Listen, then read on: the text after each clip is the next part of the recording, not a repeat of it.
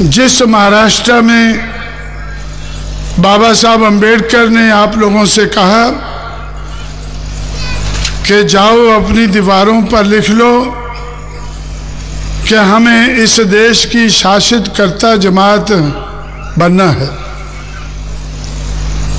तो इसलिए चुनाव की बात के साथ साथ शासन और प्रशासन की बात भी कहना ज़रूरी हो जाता है। मैं सोच रहा था कि बाबा साहब के उस सपने को आप लोग भूल चुके होंगे,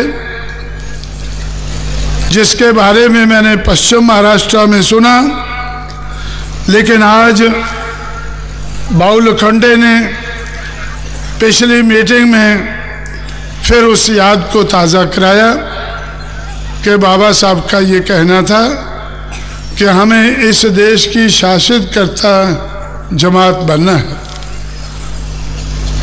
इस लक्ष्य को पूरा करने के लिए उन्होंने हम लोगों के लिए संघर्ष किया और हमें कुछ अधिकार दिलाए। सबसे बड़ा अधिकार जो हमें मिला है, वो बराबरी के वोट का अधिकार मिला है। One man one vote one vote one value एक आदमी का एक वोट और एक वोट की एक कीमत।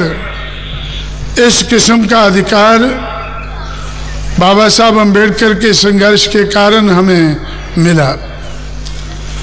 और इस अधिकार का इस्तेमाल करके बाबा साहब अंबेडकर के लोग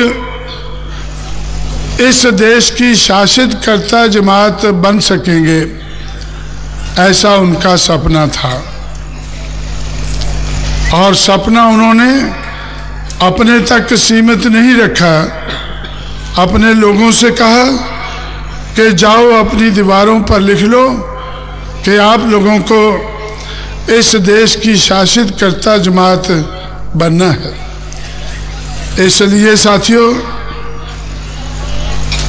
अगर हमें बाबा साहब अंबेडकर के सपने को साकार करना है, पूरा करना है तो हमें बहुत से कदम उठाने पड़ते हैं। बाबा साहब अंबेडकर के जाने के बाद आप लोगों ने क्या क्या कदम उठाए हैं? उनके बलबूते पर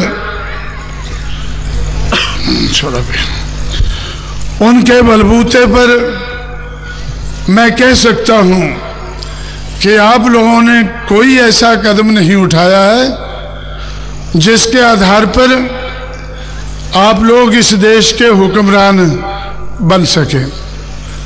या बाबा साहब अंबेडकर के फॉलोअर इस देश के हुक्मरान बन सकें? ऐसा महाराष्ट्र में आपने कोई कदम नहीं उठाया है।